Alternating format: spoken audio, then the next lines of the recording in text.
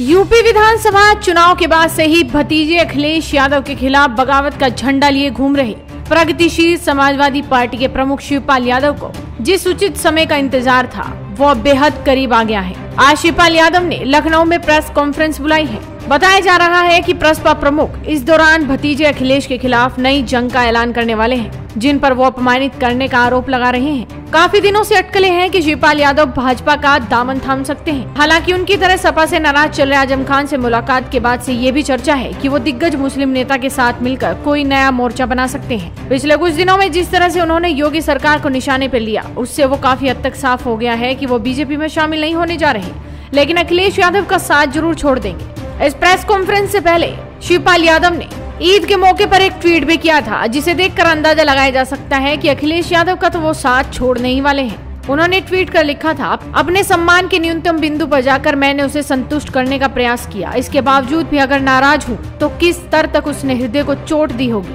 हमने उसे चलना सिखाया और वो हमें रोनते चला गया।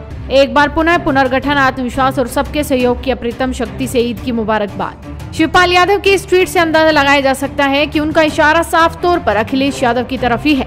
बता दें कि मुलायम सिंह यादव की विरासत को लेकर अखिलेश और शिवपाल के बीच 2017 विधानसभा चुनाव से पहले ही फूट पड़ गई थी। उन्होंने सपा को छोड़कर अपनी नई पार्टी बना ली। लेकिन 2022 के विधानसभा चुनाव में बड़े भाई मुलायम सिंह यादव के कहने पर वो भतीजे अखिलेश का साथ देने को तैयार हो गए। हालाँकि इस बार भी उन्हें निराशा ही हाथ लगी और गठबंधन के बदले महज एक ही सीट दी गई उन्हें सपा के सिंबल पर ही जसवंत नगर से लड़ाया गया। इसके बाद सपा गठबंधन में सक्रिय भूमिका नेता प्रतिपक्ष बनाए जाने की मांग भी ठुकरा दी गई। इससे आहत शिवपाल यादव ने बागी रुख अपना लिया है। किसी भी कार्यक्रम में शिवपाल यादव जाते हैं तो उनके रुख साफ़ हो जाते हैं। वो इसी तरह के संकेत देते नज़र आते हैं कि वो अखिलेश यादव को इस बार सबक सिखा कर रहेंगे। अखिलेश यादव ने मैनपुरी में ये कहा है कि बीजेपी में क्यों नहीं चले जाते? चाचा शिवपाल इतनी क्यों है? जल्दी बीजेपी क्यों नहीं लेती? इस तरह के स्टेटमेंट बराबर आ रहे हैं।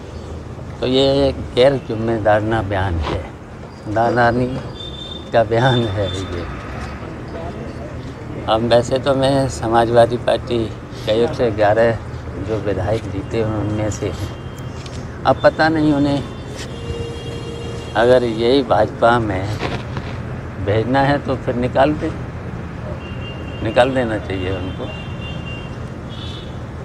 और पहले ही मैं तो कह चुका हूँ कि कोई भी बात होगी तो जब भी उचित समय होगा तो उचित समय से आप लोगों को अवगत करा देंगे। फ़िलहाल नज़र इस बात पर कि आज लखनऊ में प्रेस कॉन्फ्रेंस में शिवपाल यादव कौन सा बड़ा ऐलान करने वाले हैं? क्या वो बीजेपी ज्वाइन करेंगे या फिर अखिलेश यादव का साथ छोड़ मुस्लिम नेताओं के साथ मिलकर नया मोर्चा बनाएँगे? ये आज इस प्रेस कॉन्फ्रेंस में पता चल जाएगा।